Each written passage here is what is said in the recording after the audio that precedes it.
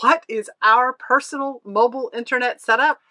That is not an easy question to answer because it's changing all the time, but we're going to do our best and show you a snapshot of how we stay connected right now. Right now. Right now.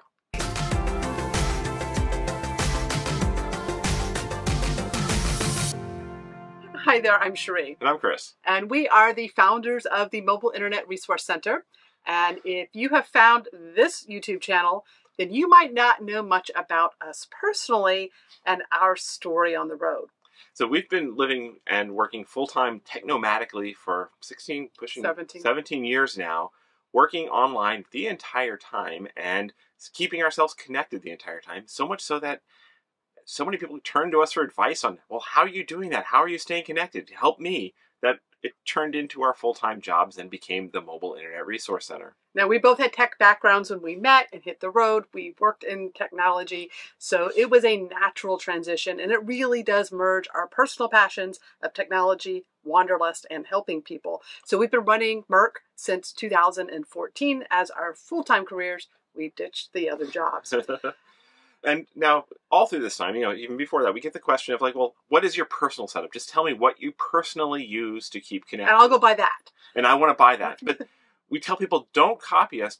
Number one, because we're often testing gear, equipment, and plans, and lots of other things, um, just because we need to be knowledgeable to help other people. So we have a lot of gear that we wouldn't necessarily buy ourselves, or maybe we would, or sometimes we have have gear and plans that are no longer available anymore. So the snapshot of what we're using to stay connected personally changes a lot and is sometimes not always the best idea to replicate exactly we firmly believe there is no one right solution for everyone. There's not even a lot of right solutions that fit most. Mhm. We all have to evaluate our unique needs and find our unique setup based upon what is currently available. And that currently available is the big gotcha is this stuff does change all the time. But we have a setup now on our boat. Yeah. Why not? We also have a, uh van and a motorhome bus that we travel in. We split our time between three different nomadic vessels. And at any one time, the setup and um is completely different. Right. We have installed a setup that we've been using for about two or three months now, which is like forever in our terms. and and it's basically the the what we consider the, the ultimate setup right now for a boat like this. We actually are able to bring together. Um, well, often our common operating thing is we bring together six different 5G plans and services and devices simultaneously, plus Marina Wi-Fi, plus Starlink, all brought together and combined in a redundant, bonded way with Peplink's SpeedFusion technology, so that we have just this incredible amount of redundancy and um, ability to get our work done and to test a lot of different stuff as well. So we can do fast uploads, fast downloads, try different gear, different combinations. But overall, it's been a really great setup and it works really well. I love having so much diversity and redundancy. we literally have connectivity coming out our ears. But we want to preface this. What we have, you probably don't need. No one needs this much No, redundancy. It's, it's fun though. If you're into it, have fun. It's fun. It's fun. I personally can be pretty happy just hotspotting off a smartphone for a lot of stuff. Yeah. I can use a mobile hotspot device. My needs are actually kind of basic, but they would be if I was living my dream world of not having to work all the time. But what we do here at MIRC with doing lots of these YouTube videos, we do a lot of webinars, we have a lot of video conferencing calls with other industry uh, professionals. We're doing a lot of video content, which requires a lot of bandwidth, especially uplink. yes, And the that does always- give us a lot of need. Yeah, and, and then also, of course, we, we live full time technomadically, and all of our social and a lot of our social life and entertainment is over internet as well. So we want to be able to stream, and we don't want to slum it. We've got a big 4K TV. We want to be able to stream in 4K. Sometimes we want to be able to both watch something different at the same time. And then our cat, she is the ultimate user of bandwidth. She is obsessed with watching bird videos on YouTube, so she uses a lot of 4K streaming herself. You know, so cat videos. Now, a lot of the equipment we're going to show you is from Peplink. It is a very popular option for the RVing and boating community. It has become very consumer accessible, and Peplink has gone to great lengths to make their stuff more and more consumer accessible. and they listen to us. We've been beta testers forever, and um, we were Peplink customers buying their gear long before we started uh, uh, testing it and getting early access to stuff. So it's probably would still be what we would buy if we were spending money on this. So what we have now is the pinnacle of technology as of March 2023 when we are filming this. anything can change. And this stuff that we're showing today is not necessarily stuff that we recommend. We're going to give you a lot of caveats throughout of why you might want to hold off on purchasing some of this equipment at this present But time. on the other hand, this is all great stuff. a lot of this equipment is provided on extended loan, both between PepLink and our education and action partner at Mobile Must Have. We have partnered with Mobile Must Have for the last couple of years now. Uh, they offer our membership as part of their membership now. So if you want to join with them, you can get our Yeah. membership or you can join directly with us. It all works. Uh, they offer discounts to our members that can bring the cost of this equipment down quite a bit less, at least more than the cost of the membership. Um, they also provide technical support in our forums, and we co-host a couple of webinar series with them every month uh, for our members to go deeper. And we have a PepLink resource center that we have built out with them with a lot more in-depth content on using this sort of stuff. Okay, is that enough caveats? That's enough caveats. Now, do you want to see the cool geeky stuff? And let's go on a tour of the tech side of our boat.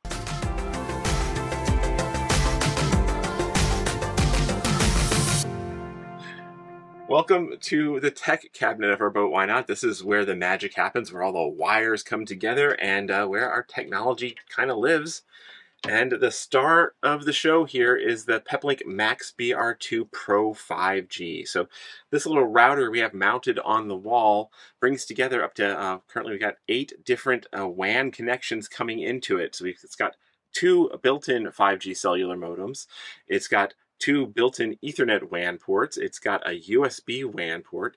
It's got a whole bunch of LAN ports, one of Ethernet LAN ports, one of which can be reused as an additional WAN port via Peplink's vWAN technology, which is new in the Peplink 8.3 firmware that just came out. Um, so it has a whole lot of capability there. Plus, it also has Wi-Fi as WAN, so it can connect to other networks, other Wi-Fi networks, and use them as its upstream. So what do we have coming in together here is, well, obviously we've got the two cellular modems, which we put two different 5G plans in and get connected. We can change those around. Um, we've got one of the Ethernet ports connected all the way up to the roof of our boat up on the radar arch to a Peplink HD1 Dome Pro 5G. It's a, another externally mounted uh, dome with a 5G uh, modem in it. So that's our third 5G modem there. Plus that also has Wi-Fi as WAN in it with the Wi-Fi antenna is mounted way up on the uh, radar. So that's what we use to connect it to Marina Wi-Fi. So that brings in the Marina source and uh, works great with no cable loss because it's connected from here to here via Ethernet using Peplink's Synergy mode, also a new feature in the 8.3 firmware that lets this router control that router as if that router's capabilities were just built into here. So we get those two extra WAN ports there. We've got another USB port here that is connected up to the Max adapter. This is a Peplink's Max adapter 5G, so it's an external USB connected 5G uh, modem. So it's four more, well, it's uh, one more 5G connection. So we're up to four 5G connections now.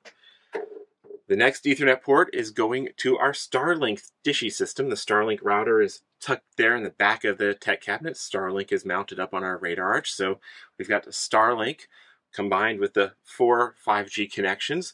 We've now got one of the Ethernet ports on the Max BR2 coming out, and we use it for all our various different 5G hotspots that have Ethernet ports on them.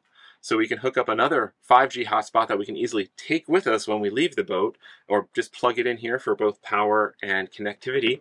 So we get another 5G option.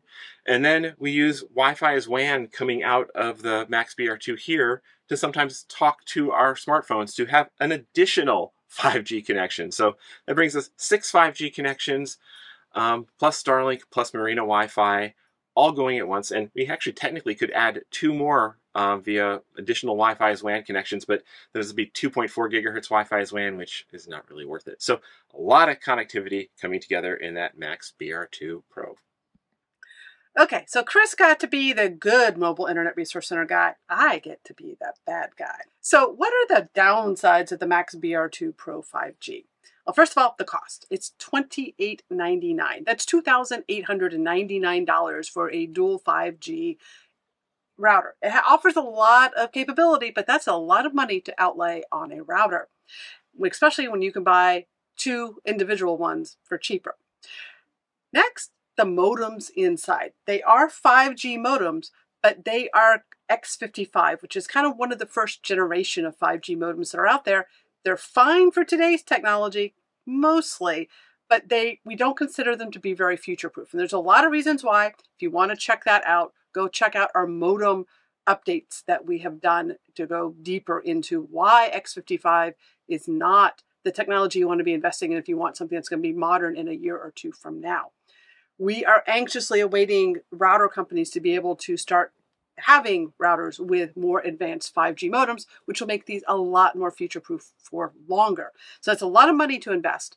Um, for a router. Now that's one reason why we use these hotspot devices as external WAN inputs into that router. It's because this Netgear Nighthawk from AT&T it has the X65 chipset in it, which is modernized and better for being on AT&T's network. So that allows us to have the X65 technology routed into our PepLink router until they are able to catch up in time.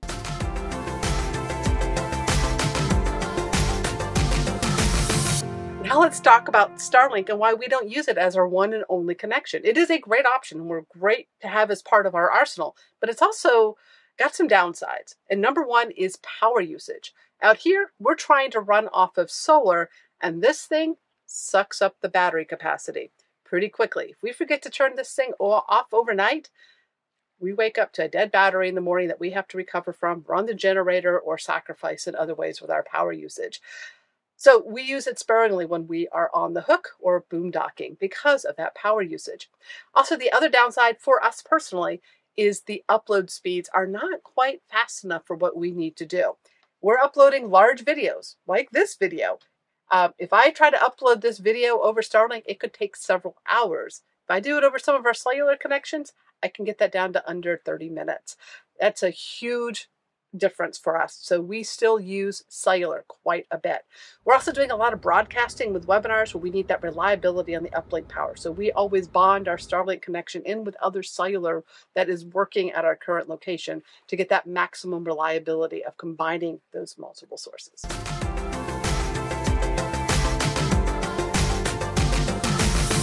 Now, we do have obviously a lot of cellular data plans, more than we need, but we keep a lot of legacy plans around for testing and ongoing. You know, some of these plans you can't get anymore and they have great terms or unlimited data. And we also get a lot of the new current plans to test them and see how well they work and put them into different bits of gear and see how what they do. So we have a lot of cellular plans, and one of the ways we help manage all of that is we actually have a PepLink SIM injector over here that actually has eight SIM slots. And so with that, we could then, from the Max BR2 or the HD1 Dome, um, select the SIMs, basically assign the slots from the SIM injector, the SIMs there, like a library, and check them out into the BR2, either of the two modems in the BR2, or into the HD Dome so we can easily compare them, shuffle them around, change out the SIMs without having to fiddle around with those tiny little plastic bits. Um, again, it does save us some time and sanity, but the SIM injector is a bit of expensive gear that we probably wouldn't have. We'd put up with that frustration if we weren't doing this testing and juggling so, so many different plans.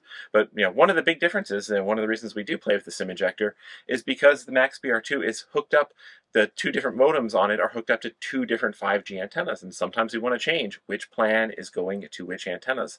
So let's go talk about what is up on our radar arch and, and keeping us connected.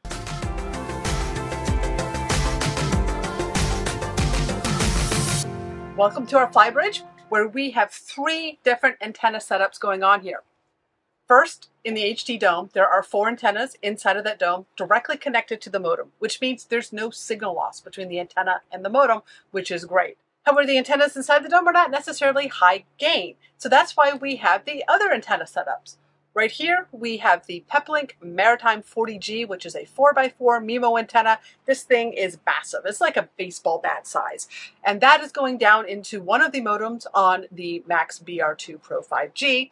And then the other antenna we have is left over from an old setup that we had with a 2x2 MIMO setup. It is by Poynting. So it's only got two antennas inside of it. And we're testing that right now with the Max BR2 in the two antenna mode, which is a new feature also in the 8.3 firmware. We'll probably eventually replace this with another 4x4 maritime antenna that might come out by other companies uh, in the future. But for now, that is our setup.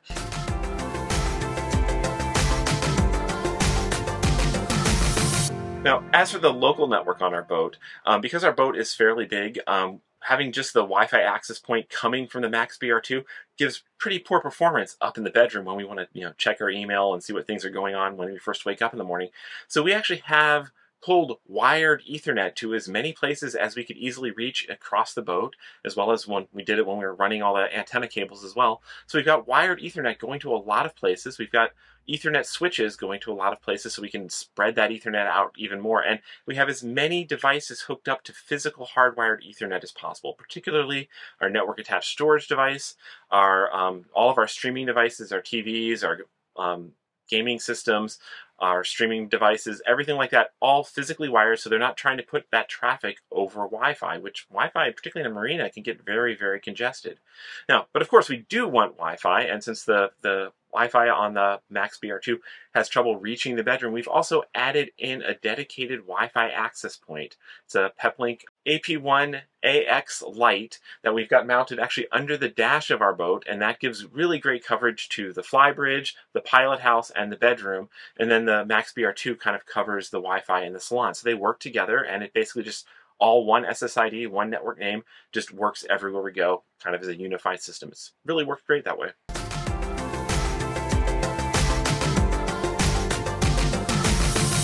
Oh my gosh, that's a lot of gear. Oh my gosh, it is. And we could keep babbling on forever about all this stuff. In fact, that's how the Mobile Internet Resource Center got uh, started. started is we talk about this stuff a lot, probably too much.